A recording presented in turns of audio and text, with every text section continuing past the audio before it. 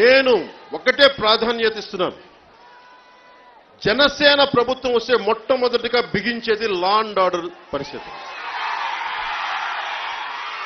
పిచ్చి కూతలు కానీ పిచ్చి వేషాలు కానీ ఎందుకంటే లా అండ్ ఆర్డర్ కరెక్ట్గా ఉంటే అన్ని సవ్యంగా ఉంటాయి. అడ్డగోలుగా వచ్చి మన కాకినాడ ఎమ్మెల్యేలాగా అడ్డగోలుగా వచ్చి రోజుకి రెండు కోట్ల మట్టి తోలుకెళ్ళరు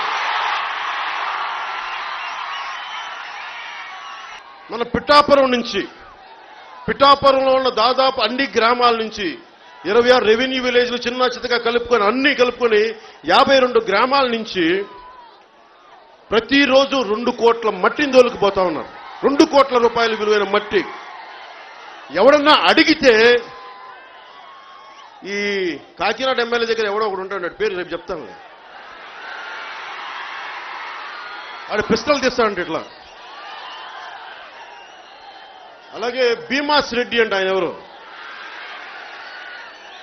వీళ్ళందరూ నేను పొద్దున్న కాకినాడలో చెప్తాను ఎల్లుండి చెప్తాను ఈ రోజు ఎందుకు వారాహి యాత్ర ఏదో యాత్ర జరుగుతుంది నా గురించి కత్తిపూడిలో మాట్లాడారు పిఠాపురంలో మాట్లాడారు. ఈరోజు ఉన్నటువంటి మీటింగ్లో కూడా మాట్లాడతారని ఆశిస్తున్నాను. ఆయన మాట్లాడాలని నేను ఆశిస్తున్నాను.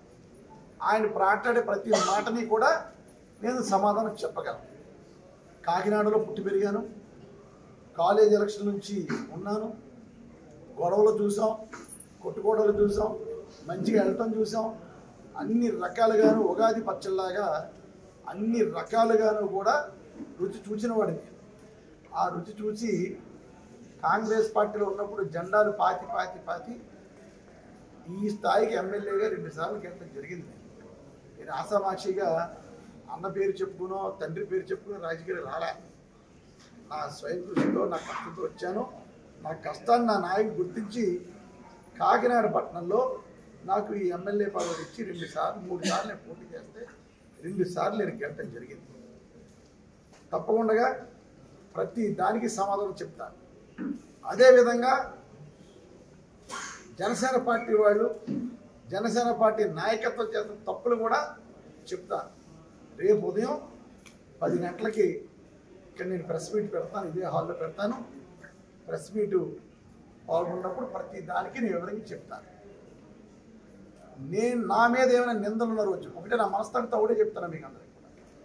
నా మీద ఏమైనా నిందలు ఉన్న రోజు ఆ నింద కరెక్ట్ అయితే నేను ఖండించను. నేను ఖండించను కూడా.